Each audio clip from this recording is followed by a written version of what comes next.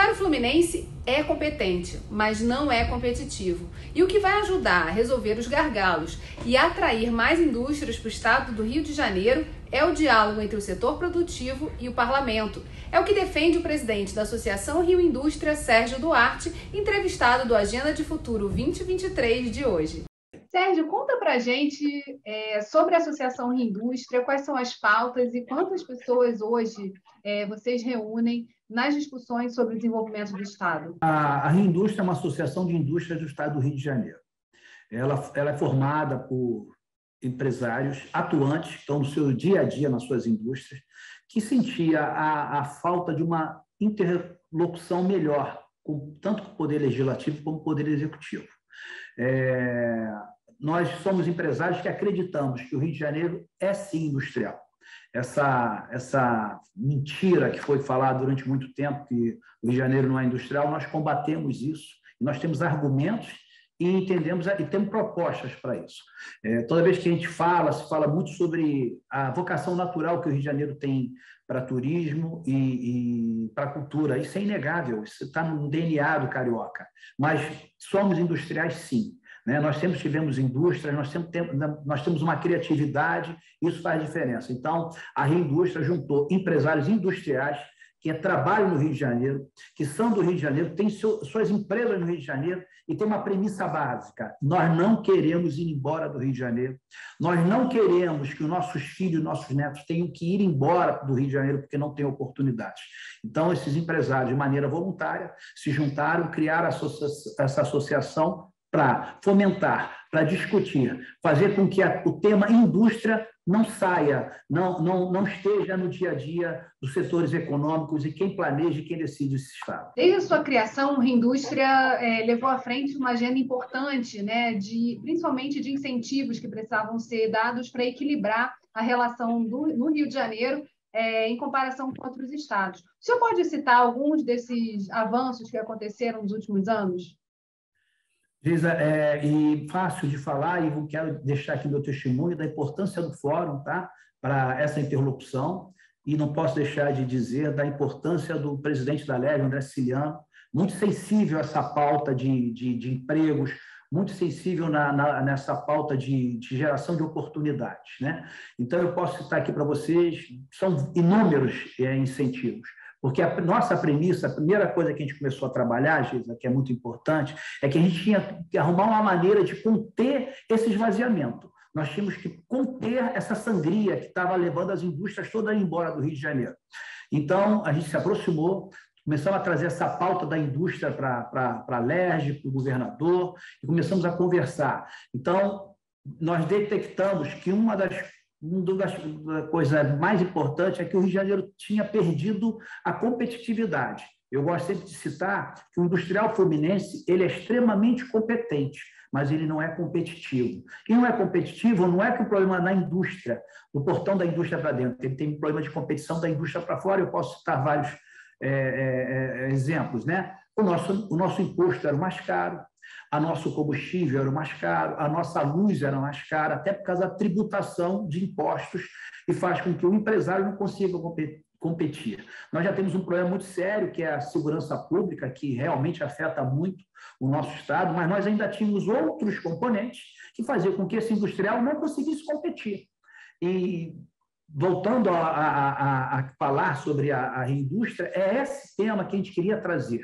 É esse tema que a gente queria levar para os deputados, é esse tema que a gente queria levar para o governador e falar assim: olha, nós temos indústrias importantes no Rio de Janeiro, nós somos competentes, nós só precisamos que o Estado nos ajude. E encontramos no, no presidente André Ciliano é, essa, essa, esse, esse, essa interlocução. Então, eu posso citar para você plástico, trigo, química, vidros, metal mecânico, alimentos, uma série de, de, de, setores que nós só simplesmente, gente, porque muitas vezes as pessoas pensam que está se dando muita condição. Não, nós simplesmente, praticamente, colamos, que depois teve a convalidação dos incentivos fiscais, que passou pelo Congresso Nacional, é, nós simplesmente colamos os estados vizinhos, nós podemos colar os incentivos que são dados aos estados vizinhos, então, como Espírito Santo, Minas Gerais e São Paulo. E nós conseguimos falar assim: ó, vamos dar as condições para que esse empresário não tenha que sair do Rio de Janeiro e para São Paulo, não tenha que sair do Rio de Janeiro e para Minas Gerais, não tenha que sair do Rio de Janeiro para o Espírito Santo. Então, esses incentivos foram só dar para condições, em primeiro lugar, vamos estancar a sangria. As empresas têm que parar de ir embora. Nós precisamos criar, Geisa, um ambiente que seja é, favorável ao empresário. Que o, o, empresário, que é o gerador de riqueza, o gerador de emprego, ele precisa falar assim: ó, eu tenho um ambiente aqui. E, Geisa, a gente fala do Rio de Janeiro e eu gosto de mostrar as potencialidades. Nós somos o segundo maior mercado consumidor. Nós estamos a 500 quilômetros de distância de mais de 50% do PIB brasileiro. Nós temos portos, nós temos aeroportos, nós temos estradas, quer dizer, nós temos infraestrutura, nós temos universidades, centros de pesquisas. Então, nós temos todas as condições que reúne uma empresa é, vir se instalar e ficar aqui. A primeira decisão, quando você vai instalar uma indústria, né, tem outras premissas evidentes, mas a primeira é você leva uma indústria ou para perto do mercado consumidor ou para perto do fornecimento das matérias-primas. O Rio de Janeiro, claro, não é um grande produtor de matérias-primas, mas o Rio de Janeiro tem um mercado consumidor e o Rio de Janeiro tem portos e aeroportos que fazem com que essas matérias-primas cheguem rápido. Então, Geisa, é, é esses desafios que nós temos e são essas coisas que nós conseguimos, junto da LERJ, junto ao governo do Estado, fazer com que esses setores que estavam indo embora, e a gente pode citar aqui, eu gosto de citar dois setores muito importantes, o plástico e o farmacêutico. O plástico, Geis, há 20 anos atrás, nós éramos o segundo maior consumidor de produtos plásticos no Brasil e éramos o segundo produtor. Passa-se 20 anos, nós continuamos sendo o segundo maior consumidor, mas hoje nós somos o sexto produtor. As empresas saíram do Rio de Janeiro e foram se instalar em outros lugares. Nós temos aqui, Geisa, no Rio de Janeiro, é uma das petroquímicas no, no Brasil, né, que são quatro, e a do Rio de Janeiro é uma das mais competitivas. Então, a gente pega o, o polietileno, o polipropileno, que são usados para fazer as embalagens plásticas, nós mandamos praticamente em ordem de grandeza, só para dar uma referência, tipo a um dólar esse produto para outros estados. E a minha empresa, eu sou do setor de alimentos, quando preciso comprar esse, esse filme para poder empacotar meus produtos, eu importo ele por eu trago de outros estados, por volta de 4, 5 dólares. Então, Geisa, não é só. É, nós estamos transferindo para outros estados renda, nós estamos transferindo para outro estado emprego, e isso poderia estar aqui. E nós acreditamos que com esse incentivo que a LER já aprovou, nós vamos conseguir fazer com que essas empresas que pegam essa, é, essas matérias-primas que são produzidas aqui em Caxias, a gente atrai essas empresas para gerar emprego, renda e criar condições do Rio de Janeiro ser mais competitivo. Então, nos próximos quatro anos, quais são os temas importantes e que tem que estar na agenda do parlamento para a gente ter o desenvolvimento do Estado do Rio de Janeiro e recuperação né, desse momento pós-Covid-19? Geisa, eu vou falar para você que eu posso sintetizar tudo isso, esse, esse, esse, esses próximos quatro anos, numa palavra: diálogo. Nós precisamos ter diálogo. É, o parlamento tem que escutar os setores produtivos, o parlamento tem que ouvir as necessidades, é, desse setor produtivo, entender. E, e, o setor produtivo também, Geisa, tem que estar aproximado, tem que estar próximo do, do parlamento para poder conversar, para poder trazer suas necessidades, para mostrar, Geisa, as oportunidades.